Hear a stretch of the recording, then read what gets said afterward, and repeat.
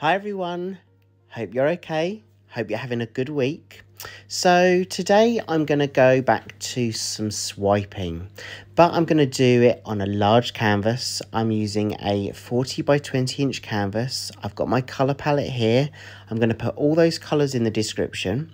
But first of all, I'm going to sort my base out. Now, this is a King's Blue by Amsterdam. And I always say, if you can get good coverage and consistency on your base coat, when you go to swipe, it's going to make things really easy. So I'm just going to layer the base now, and then I'll talk you through the process.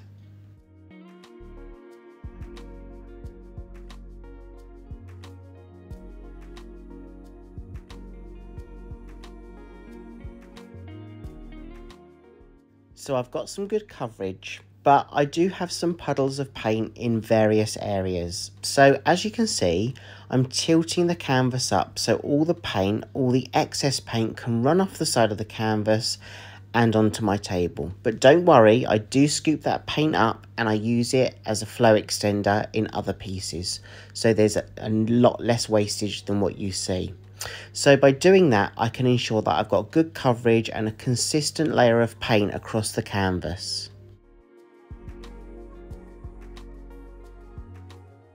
So I'm going to take my colour palette and I've taken my Prussian blue first. And what I'm doing is I'm going to just drop a couple of lines onto the canvas so I can use it as a bit of a guide to layer my other colours directly on top. The idea is to have really solid colour in the middle and then I'm going to swipe each side. So the Prussian blue is down and I'm going to take one colour at a time and literally layer all on the top. I've got a gold, I've got a yellow gold, I've got iridescent blue green, and I've also got an ultramarine blue. So all of those colours, they're going to be listed in the description box below. So check out the description box if you'd like to know more about the colour palette and my ratios. So I'm going to layer this one at a time. I've sped up the video so you don't get bored and then we're going to continue with the process.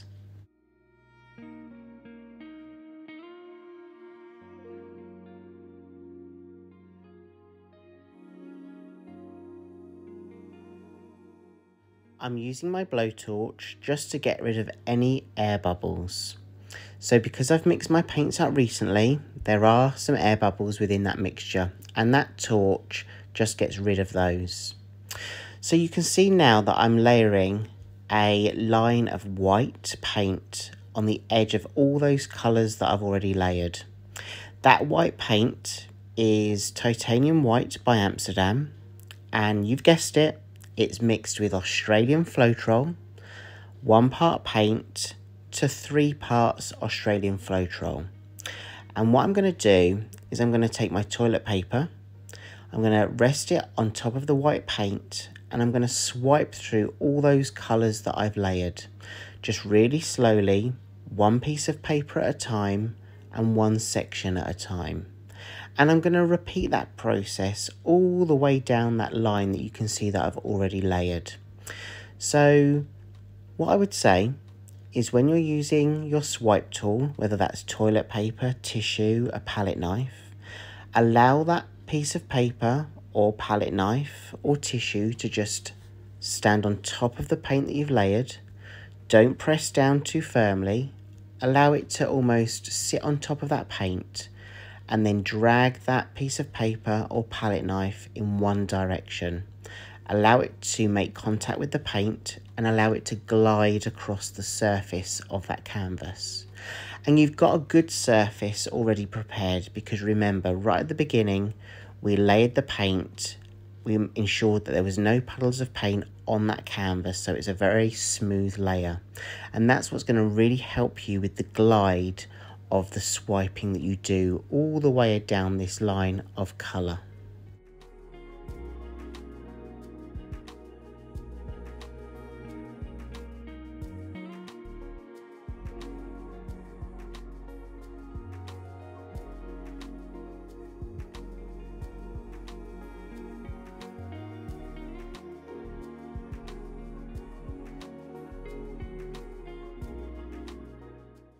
You can already see this design taking shape where the white paint that's mixed with the Australian Floetrol is creating so many different details with the lacing. And I'm just going to go all the way down this line and follow that process by adding the paper to the paint, swiping it over the top of the colours that are already layered, removing the paper when I get to the edge and repeating that process all the way down. But please don't rush this process. Really enjoy being in the moment of now. Have a look at how that paint is reacting with each other. Have a look at how it infuses together and just watch those cells and that lacing create and look at the patterns that it also creates too.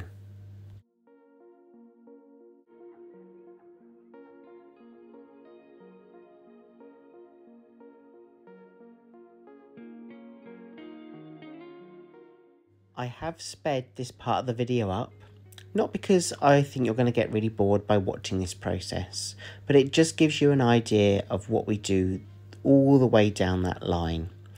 And don't be fooled by the, the, the length of the videos that I release. One thing that I would like to say, and I get this asked all the time, is sometimes the videos are only 10 to 15 minutes long, and is that the time that it takes me to create a piece?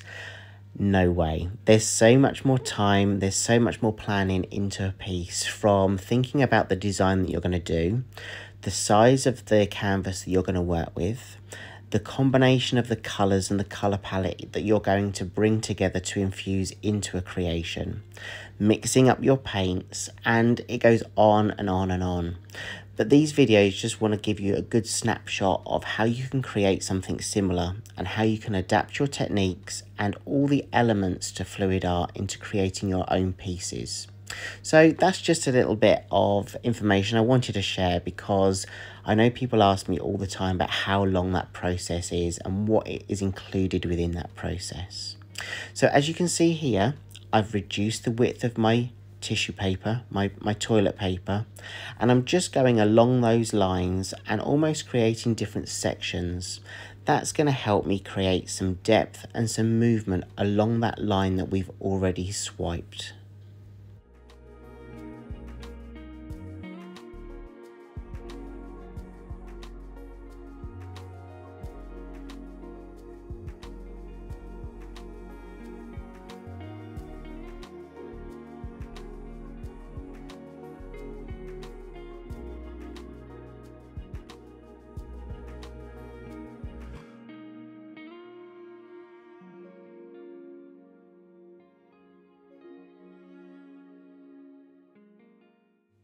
So I'm going to repeat the process for exactly the same side. So this is quite a symmetrical piece. I'm layering the white paint along the edge of the line that we've already layered with the colours. That paint is mixed with Australian flow Floetrol. And then I'm going to take my toilet paper and swipe the white paint over the coloured paint that I've already layered. And I'm going to follow that line all the way down. This is a large canvas. This is a 40 inch by 20 inch canvas. So I'm just taking my time. The temperature and the working conditions I'm in are okay. The paint's not going to dry really quickly. But if you are working in a really hot temperature, just be mindful that if you're working with a really large canvas and you're using some paints to do something like a swipe, then think about the time of day you might want to paint or the temperature that you're actually working in because your paints might dry quite quickly and a film might appear on top and that will be even more difficult to work with those paints. So think about the conditions you're in. I know we're based all the way all the way around the world. There's there's people from all different countries working with fluid art. So you'll know the time of the day that's best for you when you create your designs.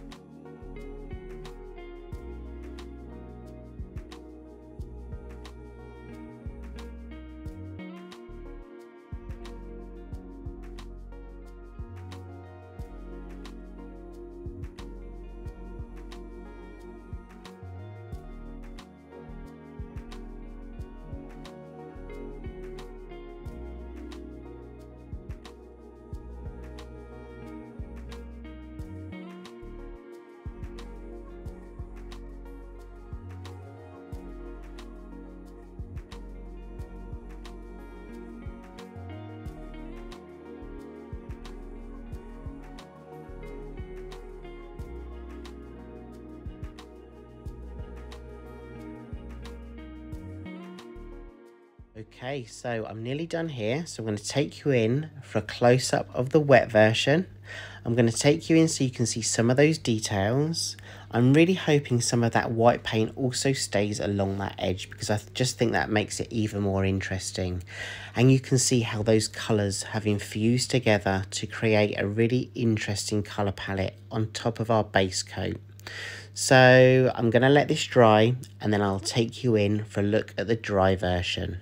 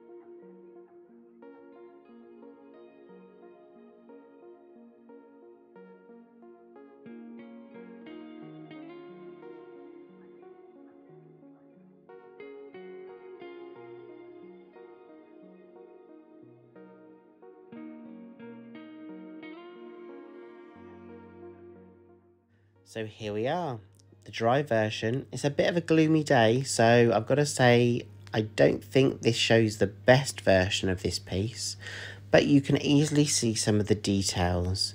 And I really love how all those colours have worked together how I've used different width toilet paper and tissue to use the, as a swipe tool because it shows different elements along that line, different sections that we've been able to create. And some of that lacing is just really gorgeous because I can see how that gold is really popping through. I've really loved doing this. I do love the swipe technique. I think I'm going to do some more of these, but I've really enjoyed this colour palette. Thank you so much for joining me today. I really hope you're enjoying what you see.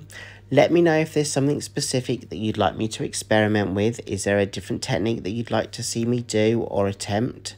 And I really hope you have a great week ahead and I hope I get to see you again in the next video. Take care everyone and I hope to see you soon. Bye.